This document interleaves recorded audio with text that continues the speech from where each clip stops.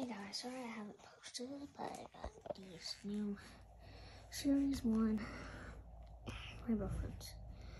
Now you may be wondering, yes, I do have the figures red and blue, but they're missing, so be patient.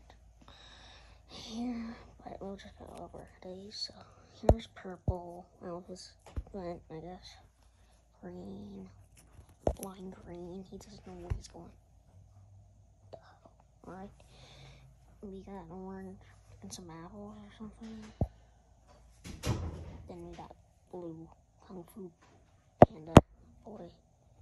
He got, yeah, but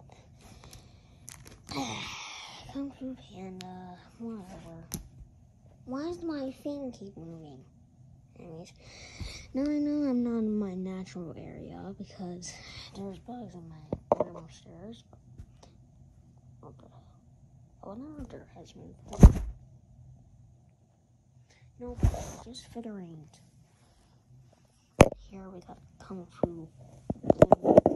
Knockoff of Kung Fu Panda. We got Grin. Why are these things though? Are they like berries? Berries and green, berries and green. I wonder why they haven't made like purple outfits. He does have some sharp teeth. But yeah. Anyways, the thing I like about him, blue and, and purple, is that they have cartoony eyes. Like Bendy or something. I don't know. Pocket eyes. Sorry I haven't made a review in a while. I promise.